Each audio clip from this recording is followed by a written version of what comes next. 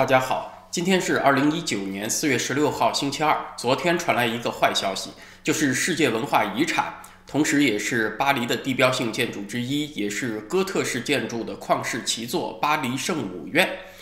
四月十五号发生了火灾，大火燃烧了五个小时。目前已知的损毁状况是，这个教堂的尖塔在大火中倒塌，屋顶大约损毁了三分之二。有媒体说，这个教堂北、西南三面的玫瑰花玻璃窗啊也碎裂了，但是这个消息还需要确认啊，有可能没那么严重。所幸的是呢，教堂的主体结构得以幸免，包括两座钟楼在内，还有教堂的外墙这些部分呢是幸免于难。目前已知的文物损毁呢，还需要一些时间来确定啊。现在知道百分之三十的文物是安好无恙。教堂内部的祭坛和十字架看起来也还安好，火灾的主体已经被扑灭了，但是零星的小火苗余烬呢，还需要一些时间来扑灭，因为是在一栋古代建筑里面灭火，它这个消防工作也得极其小心，像我们一般用那种高压水枪喷射呀、泡沫和干粉灭火呀，都需要谨慎。呃，一不小心，它有可能就会对文物造成难以修复的损害。所以，扑灭建筑物里面的余烬啊，比我们一般所知扑灭公寓楼里面那个着火呀，这个工作要细致复杂的多，花的时间也要长一些。关于火灾的起因，目前还没有定论，还在调查之中，怀疑是这个教堂顶部维修施工的时候造成的意外。那这个巴黎圣母院灾后恢复重建，那工作已经启动了，至少得耗费几年时间。而且所谓古迹的恢复，只能是在材料、结构、外观上尽量接近于原貌。至于历史感，它肯定是有损失的。像这个巴黎圣母院，它屋顶所用的木质的屋梁，它每一根都是一条大原木。当年为了修建这个教堂，二十几公顷的橡树森林被砍伐。那这些屋梁呢？它有的历史可以追溯到十三世纪，所以你就算看起来把这个屋顶的样貌给复原了，但是这些有八百年历史的木材被烧掉，你找不回来了吗？总之呢，这是历史古迹的一大损失，是全人类的损失。关于火灾的情况呢，就简单介绍到这里。在全世界都为这场悲剧而哀婉痛惜的时候呢，啊，在中国的互联网上竟然传出了一股异样的声音啊，一股喜悦的声音。根据数字中国时代的截图显示。呃，一个叫做北美留学日报的媒体啊，可能是北美留学生自己办的媒体吧。他有一篇关于火灾的文章啊，截止到四月十六号北京时间下午四点钟，这篇文章下面的留言里点赞最多的前几条啊，都有幸灾乐祸的言论。有一个点赞数接近六万的留言，开头就说这烟雾缭绕的古迹是不是像极了百年前的圆明园？还有一条点赞数达到了四点六万的评论里面说，我看到许多古董被毁，确实觉得惋惜，但是内心深处确实有种天道好轮回，平衡了的快意啊！关键词儿是快意，内心深处的快意。在全世界都流泪的时候呢，当然这几位也不好意思公然说啊，我今天就是很爽啊，我就是高兴，真呀嘛真高兴。他得先加个帽子啊！我对古董被毁其实也是惋惜的。至于后面所说的内心深处的快意啊，那种找补回来的满足感，才是他真实的感情。因为他说了嘛，来自内心深处。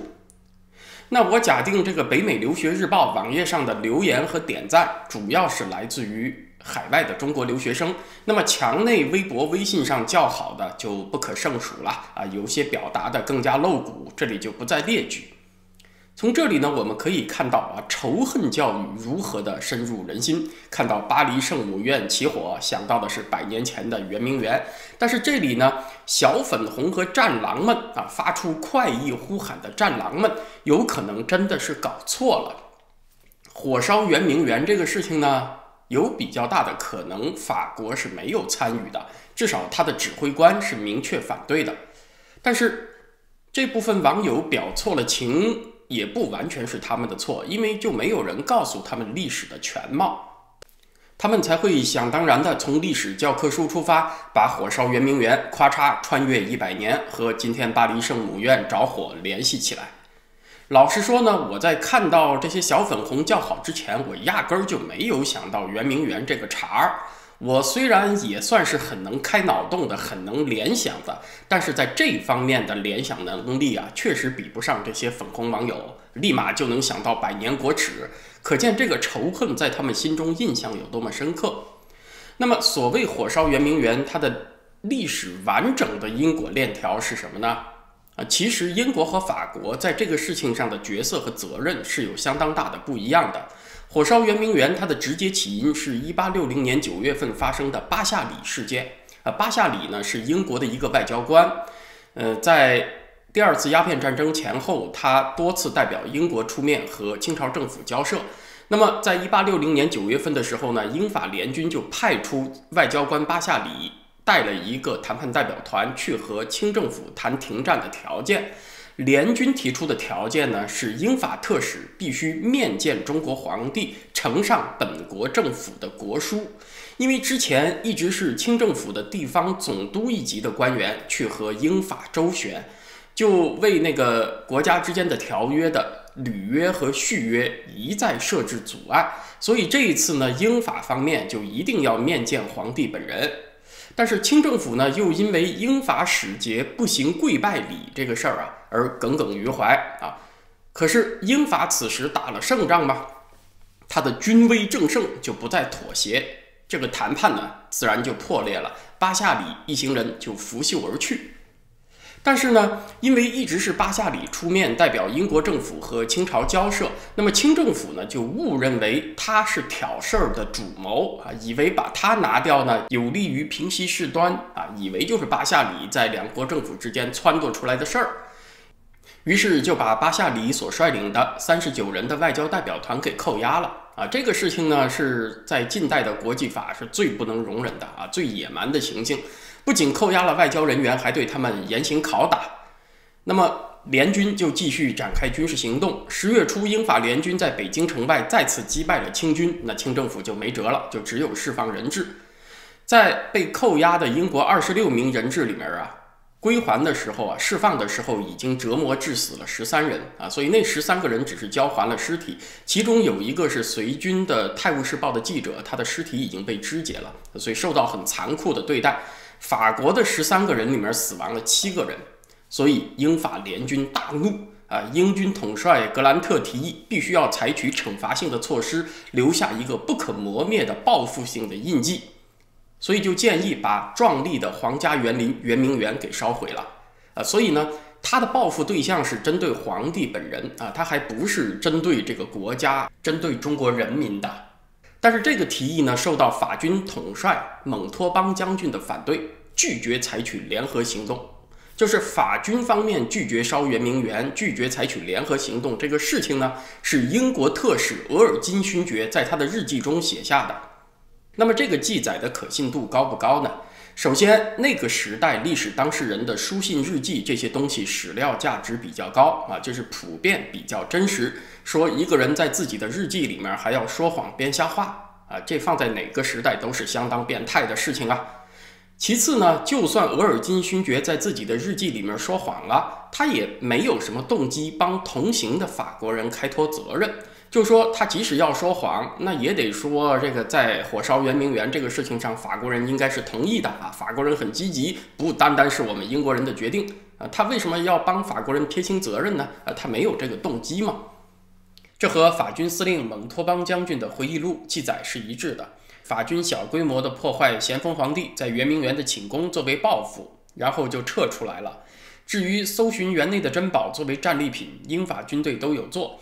但是在整个圆明园放火这事儿还真不是法国人干的，至少在做决定的时候，英法双方的具体责任不一样。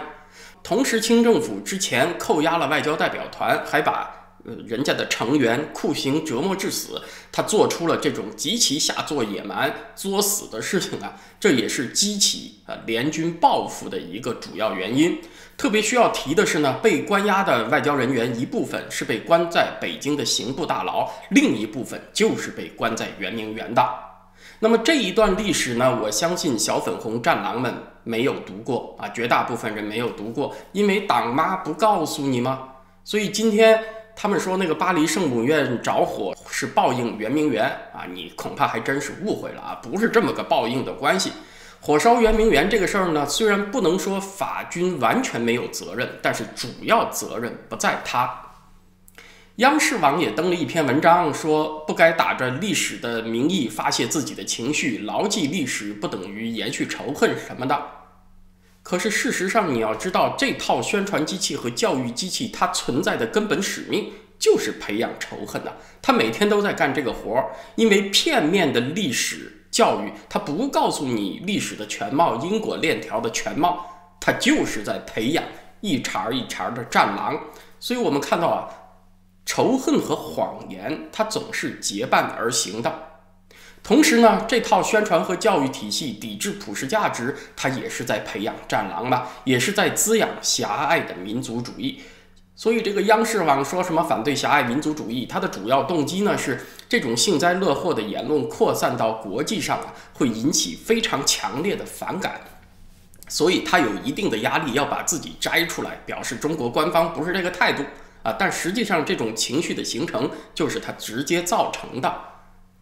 当今的普世价值之一就是对人类的文化遗产不区分民族都要珍爱。但是呢，这个观念咱们说出来简单，它并不是说你有你就能有的。它要真正内化为你一种自然而然的情感，它是需要别的方面的基础的，就是需要有普遍的同情心和理解力。而这个东西呢，就是当今中国人最缺的。啊，咱们举个例子说吧，如果你看到有那么多藏族人为了抗议对他们的民族同化自焚而死，啊，你看到这些消息呢，脸就扭过去了，不闻不问，那你当然不会对藏文化被破坏而痛心疾首。你如果对中国身边另外一个民族藏民族的文化凋零也不感到痛心的话，你觉得反正都是什么藏独分子嘛？那他们的文化破坏就破坏了呗？啊，没准破坏了还有利于中国的统一呢，对不对？如果你是这样一种观念的话，那当然对于几千公里之外被烧掉的一座哥特式法国教堂也不会有多在意。啊，最多就是有一个感叹啊，早晓得今天被烧了，那上次我去法国的时候应该多拍几张照片。这一维修的话，至少几年我进不去了。最多就是这么个感想。因为小粉红战狼们心中没有对人无差别的普遍同情，呃，他心中有的就是敌人和我们的区别。当然，敌人的眼泪啊，就是我们的喜悦；敌人的丧事就是我们的喜事。啊，于是就会发生。巴黎圣母院着火以后，举世落泪，他独叫好啊！这种奇葩的现象。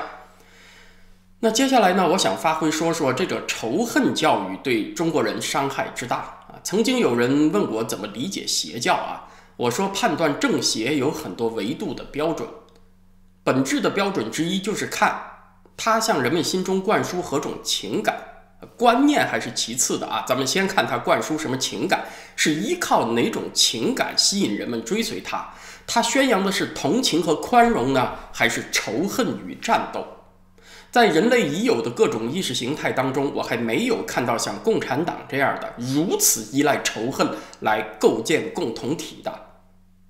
其他宗教，不管你说它怎么邪性，我都还没有发现有比共产党更依赖仇恨的。所谓共同体呢，就是持有共同目标和相同行为准则的人群，可以说是无恨不成党，无仇恨就无党的事业啊。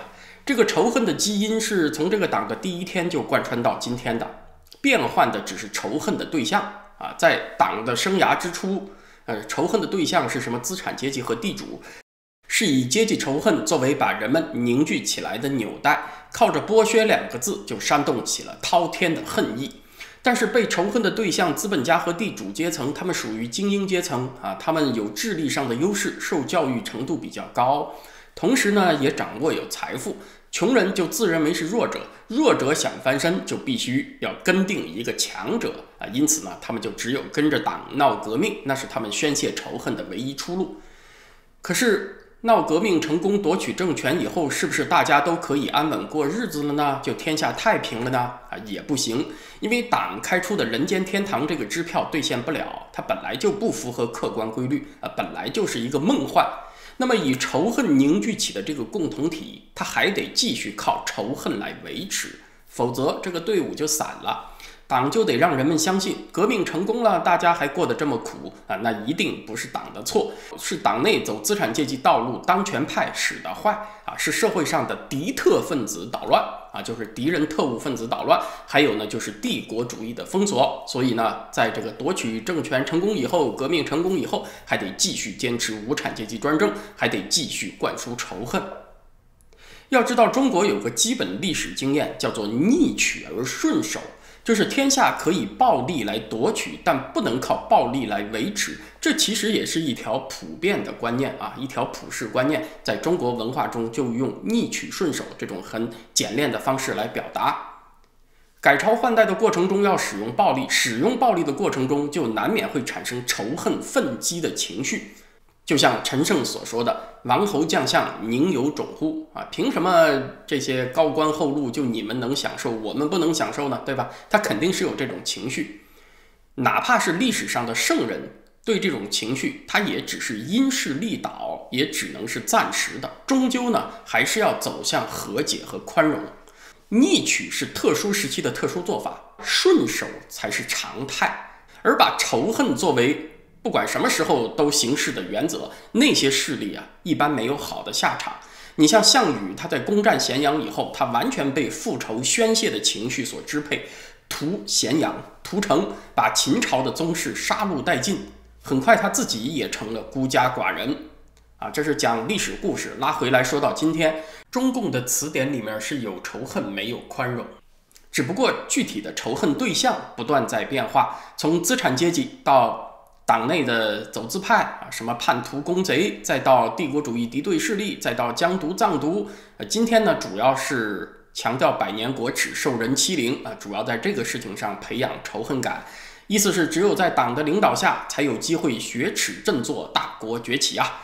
而这个所谓的民族复兴、扬眉吐气呢，它其实。不是一种平和的情绪，它带有强烈的报复情绪。就是一般人所得到的关于复兴和强大的理解，就是敌人曾经加诸于我的痛苦和耻辱啊，我有办法原样奉还，甚至更猛烈，才表示我比你更强大。假如我现在没有办法、没有能力奉还给你呢，你遭个天灾人祸，我也鼓掌叫好啊，就算是老天爷帮我出口气，给我点安慰了。